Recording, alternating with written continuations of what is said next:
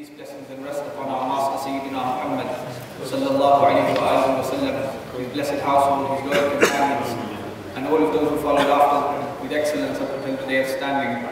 Ameen, Ameen, Ameen. The Prophet sallallahu alayhi wa sallam, in a narration, he mentioned that Allah subhanahu wa ta'ala presented to him the mountains of Makkah in gold and silver. Allah subhanahu wa ta'ala presented to him the mountains of Makkah in gold and silver.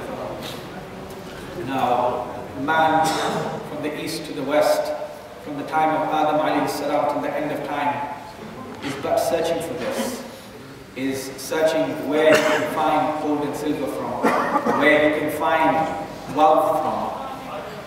And this is the search of mankind. But Allah subhanahu wa ta'ala offered the creator of the heavens and the earth, offered mountains of Makkah to the Prophet sallam in gold and silver. Without any hardship, without any work, without any difficulty, without any traveling, here you go, the mountains of Makkah in gold and silver. The Prophet wa refused. The Prophet wa he refused. He said, I don't need the mountains of Makkah in gold and silver, but rather, the day that I have food to eat, I will thank you. And the day I go hungry, I will be, I will be patient. The day I have food to eat, I will thank you. And the day that I have nothing to eat, I will sleep patiently. The Prophet ﷺ said, on the night of Mi'raj, one of the uh, incidences that occurred with the Prophet ﷺ was that Jibreel alayhi presented two bowls to the Prophet sallallahu alayhi wasallam. One bowl had milk in it, and the other bowl had wine in it, wine from paradise. He presented both so that the Prophet ﷺ takes a choice and he drinks.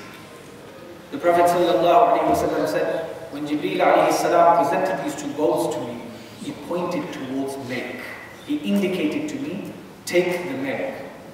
So he said, I took the milk and I drank it.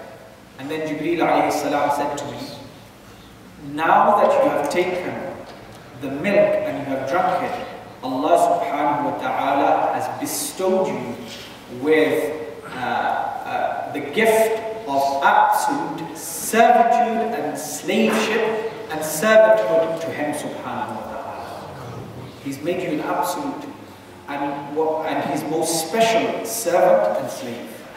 Whereas, if you had chosen wine, then you would have been given kingship.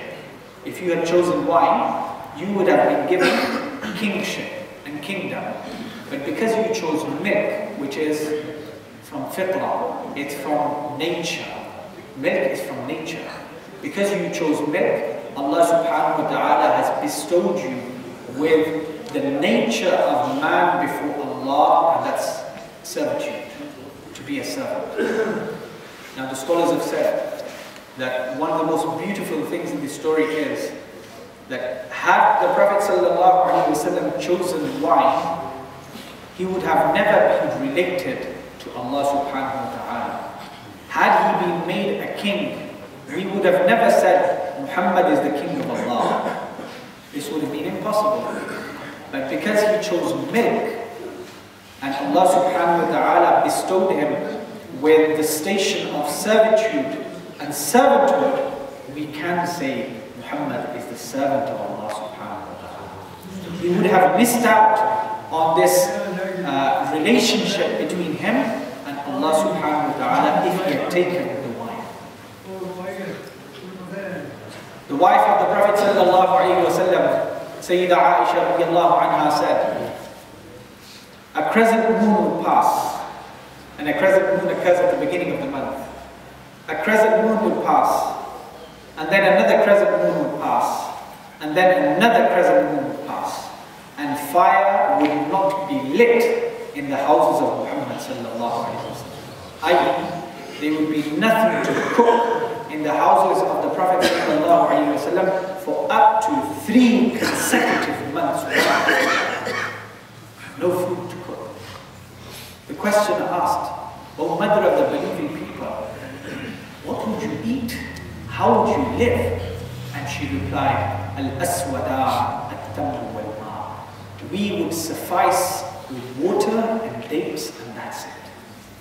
Water and dates would be our food, nothing beyond. Nothing beyond. Now, if we look at these three incidences, Allah subhanahu wa ta'ala presents the mountains of Makkah to the Prophet wa in gold and silver, he refuses. Jibreel salam presents wine and milk to him, he takes milk and he refuses wine, refusing kingdom. In the houses of the Prophet wa there is nothing to cook for up to three consecutive months. The Prophet's uncle Abu Talib, he was a very influential man in Makkah and he supported the Prophet ﷺ immensely. The people of Makkah came to him and said, Oh Abu Talib, you're a respected man amongst us. Your word is the word. Please speak to your nephew and ask him to stop propagating this religion of his. Stop propagating this religion of his. And upon that, we will give him anything that he utters. Anything that he wishes, that he desires, that he wants. If he wants kingship amongst us, we'll give it to him. If he wants wealth, we'll give it to him. If he wants land and property, we'll give it to him. Ask him to ask for anything, and it's at his disposal, so long as he leaves propagating his religion. Abu Talib comes to the Prophet ﷺ and he says, Oh nephew, your people have come to me, and this is what they've this is what they said. When the Prophet ﷺ heard that they were offering him anything in this world, anything, anything that he asked for, kingship, property, land, wealth, it was all his. When the Prophet ﷺ heard this, he replied to his uncle and he said, Uncle, if they place the sun in my right hand and the moon in my left hand, I will never leave this religion or the propagation of this religion ever.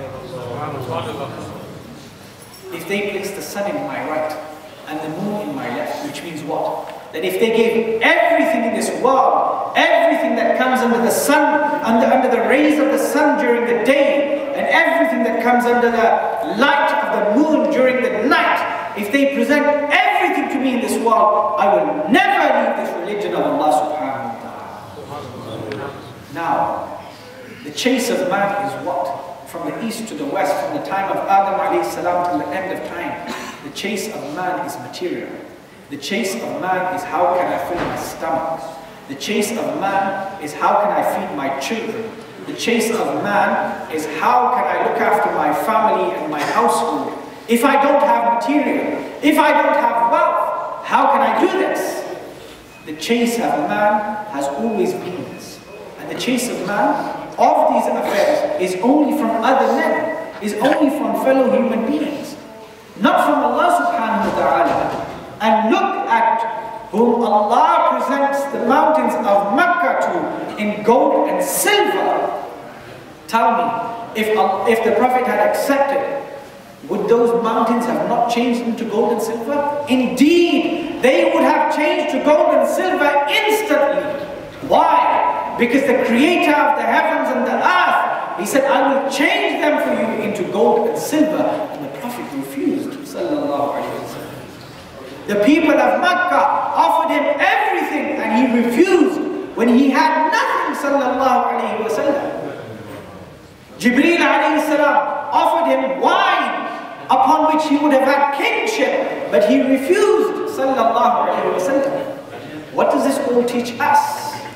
That our prophet wasn't a prophet of this world, wasn't a prophet who chased material, wasn't a prophet who was out there just to fill his stomach, who was out there just to earn wealth, but he was a prophet that was carrying a treasure that was more precious and that could not be matched by the wealth of the heavens and the earth. It could not be matched by the wealth of the heavens and the earth. That's what he was after, sallallahu alayhi and that's what he left behind for the believing people who are around him and for the believing people till the end of time. The chase of man at the time of Adam salam was the same chase that we have today. Its colors, its flavors, its shapes, its texture might have changed today, but it's still the same. I have to feed my stomach. I have to look after my household. I have to feed my children. I don't have pray. I don't have time to fast. I have to look after my family. This is the same chase that man has always had. But who has succeeded? Who has succeeded? The Prophet ﷺ was the best and the greatest of examples. He was the one who found most comfort. He was the one whose heart was at absolute tranquility and peace. Absolute tranquility and peace. Now we have enormous amounts of material before our eyes, in our homes, around us. But tell me, who finds tranquility and peace in their hearts? Why? It's because our Prophet wasallam, he wasn't after the chase of the dunya. He was seeking Allah subhanahu wa ta'ala. And the one who seeks Allah, Allah looks after the affairs of his house, his family and his children. The Prophet ﷺ said, إِنَّ اللَّهَ al-'ilm الْعِلْمِ بِالرِّزْقِ The Prophet ﷺ said, the one who seeks the religion of Allah subhanahu wa ta'ala, Allah looks after his provision, Allah looks after his rizq such that he goes through no trouble. He goes through, through no trouble in the sense that his heart is always at peace.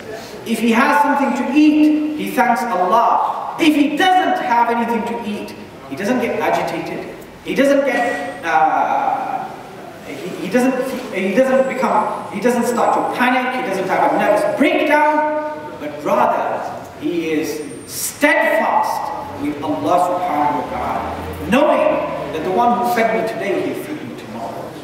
The one who fed me today, he'll feed me tomorrow. This is why the Prophet ﷺ said, لو توكلتم على الله حق توكله لرزقكم كما يغدو الطير يغدو بطانا يغدو خماصه said, if you believe in people, had total dependence upon Allah subhanahu wa ta'ala, then He would feed you the way He feeds the birds. They leave their nests early morning, empty stomach, and they return every night with filled stomachs. The one who feeds us today will feed us tomorrow.